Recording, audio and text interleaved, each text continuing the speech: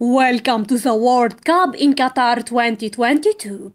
The referee now announces the beginning of the match between Uruguay and South Korea.